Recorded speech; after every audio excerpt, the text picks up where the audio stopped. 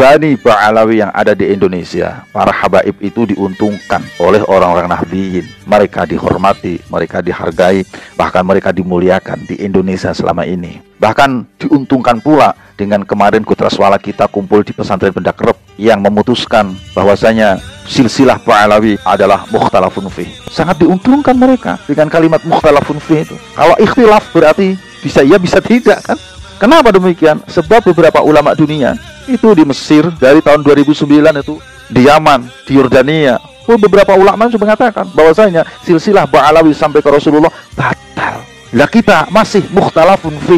Enak toh? Untung saja kemarin itu ketika kita kumpul di Benda Kerep, kita tidak buka kitab Al-Ghuror. Oh, kalau kita buka kitab Al-Ghuror, makin tidak masuk akal tentang silsilah Ba'alawi sampai ke Rasulullah Muhammad sallallahu alaihi. Gak masuk akalnya di mana? Bayangkan, pada halaman 115 di dalam kitab tersebut, penentuan nasab Ba'alawi sampai ke Rasulullah itu hanya ditentukan melalui mimpi. Yang mimpi siapa? Lalu disebutkan juga di kitab tersebut di halaman 108 bahwasanya ada seorang ulama namanya Syekh Abdullah bin Alwi bin Fakih Muqaddam. Ada seorang ulama.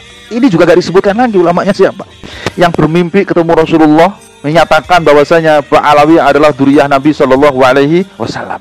Terus juga ada di halaman 117 kalau tidak salah di kitab yang sama Al-Ghurur. Itu yang menentukan penentuan nasab justru melalui orang lain. Padahal saudaranya ada di situ. Ada seorang yang datang ke Basrah namanya Ali. Beliau ke Basrah bertanya kepada seseorang imam, seorang qadhi di sana. Padahal di Basrah itu mestinya dia punya saudara namanya Muhammad dan Husain. Karena Ali, Muhammad dan Husain itu tiga-tiganya adalah putra dari Ahmad. Ahmad itu adalah keluarga dari Basrah. Mereka tinggal di Basrah. Jadi kalau seandainya Ali datang ke Basrah, itu mestinya dia menemui Muhammad, menemui Husain. Dan itu terjadi pada abad ke-6. Menurut saya abad ke-6 itu duriah Nabi yang ada di situ mestinya sudah banyak. Kenapa tidak menemukan satu pun dari saudaranya? Bahkan nanyanya kepada seorang imam yang itu orang lain, bukan dari duriah Nabi atau bukan dari duriah mereka.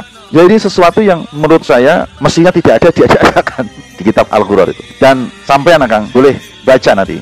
Kitab ini itu yang menulisnya justru dari Bani Ba'alawi sendiri. Siapa? Yang menulisnya itu adalah Muhammad Ali bin Ali bin Alwi Khidid yang wafat tahun 960 Hijriah. Ditulis oleh keluarganya sendiri, mengaku sebagai duriah Nabi sendiri, tapi cerita dalam kitabnya tidak ada satupun yang bisa diterima oleh akal sehat. Bisa dipahami? Alhamdulillah. Jadi sekarang apa masalahnya sampai protes, sampai tidak terima, sampai menyalah-nyalahkan? Masalahnya di mana? Kita sekali lagi kita masih punya rasa di tempat-tempat yang lain mah sudah dibatalkan. Allahumma sholli wa sallim Mereka sudah kadung mengatakan ada yang begal nasab. Jika dilihat dari beberapa kitab yang kami kaji bersama, itu yang begal nasab siapa? Bisa jadi pihak orang yang mengatakan begal nasab itu sudah membegal nasabnya sendiri. Sekarang kan tinggal bertanya, bagaimana nasibnya yang nasabnya terbegal? Masya Allah. Kebayang tidak? Alhamdulillah, kita masih menjadi orang-orang yang hidup di Indonesia. Masih baik semua kita ini. Allahumma salli wa sallim wa barik alaih.